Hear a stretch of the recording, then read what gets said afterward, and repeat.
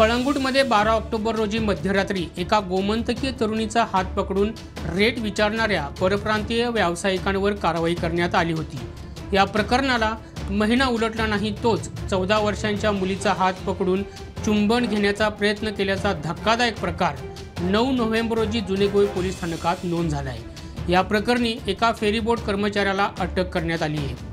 पीडित मुलीच्या आईनं दिलेल्या तक्रारीनुसार फेरीबोटीवर काम करणारा सुदेश तारी नामक कर्मचारी गेल्या काही दिवसांपासून तिच्या चौदा वर्षांच्या मुलीच्या मागं लागला होता. एकदा त्यानं पाठलाग करून मुलीला अडवलं आणि तिचा मोबाईल नंबर मागितला. पण तिनं टाळाटाळ केली. त्यानंतर फेरीबोटीतून प्रवास करत असताना तिचा हात पकडला आणि चुंबन घेण्याचा प्रयत्न केला. त्यातून मुलीनं सुटका करून घेतली आणि घरी आल्यानंतर सर्व प्रकार कुटुंबियांना सांगितला.